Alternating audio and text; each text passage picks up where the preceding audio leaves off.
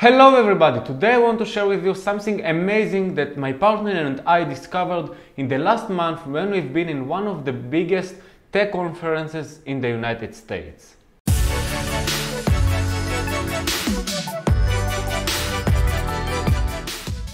So in the previous month we've been in an AWS conference, actually it's our uh, servers company, it's the biggest server company in the world, and they are making some conferences in different countries.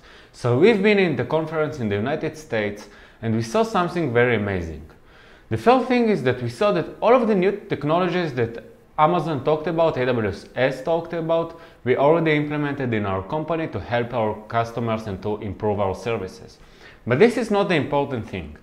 What we saw is that our servers and our uh, uptime is over 99.98% up. It means that our services always, almost always up our auto ordering, our site and our monitoring uh, uh, platform.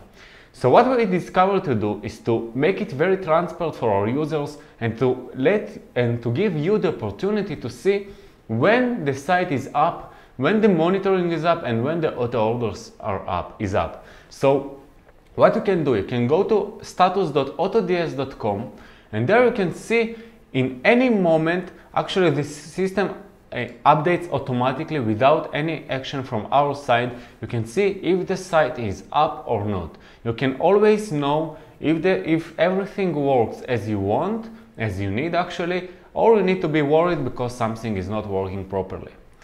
So we are really sure that it will help you and it will save you time. Instead of contacting the support and ask if there is any general uh, problem, you can just go and check it by yourself on the status page. Also, you have it on our intercom chat here in the bottom.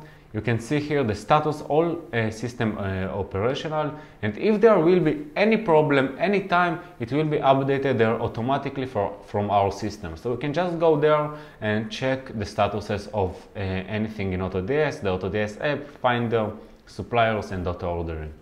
I really hope that this feature will help you and it will make it everything much more transparent for you so you can enjoy your work with AutoDS See you in the next videos. For any question, just ask here under this video in the uh, comment section and I promise you that I personally go every day over the questions and I will answer your question.